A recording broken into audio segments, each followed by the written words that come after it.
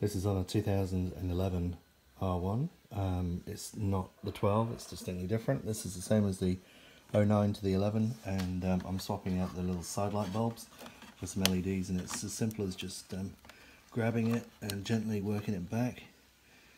That's how you get that out. It's got that little flange on there to keep it in and then once you've got these out you just wiggle the uh, wiggle the original bulb out like that and then just insert the new LED one which I've got over here so. Side bulb. It can only go in one way so you don't need to worry about polarity or anything. Um, this is all made a little bit more awkward with one hand. Okay so the bulb's in now and uh, you just put it back in nice and gently. Push it so it's all the way home. You hear a little click you can see the um, you can see the bulb uh, actually in the front there. Substantially brighter than the old ones.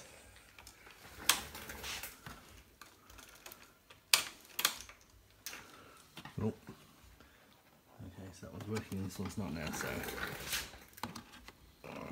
Okay I had thought that the polarity didn't matter um, but of course they're LEDs so it did. I was just lucky on the first one so after just popping it back out turning it around it's come on nice and bright now. They are substantially brighter than the old ones.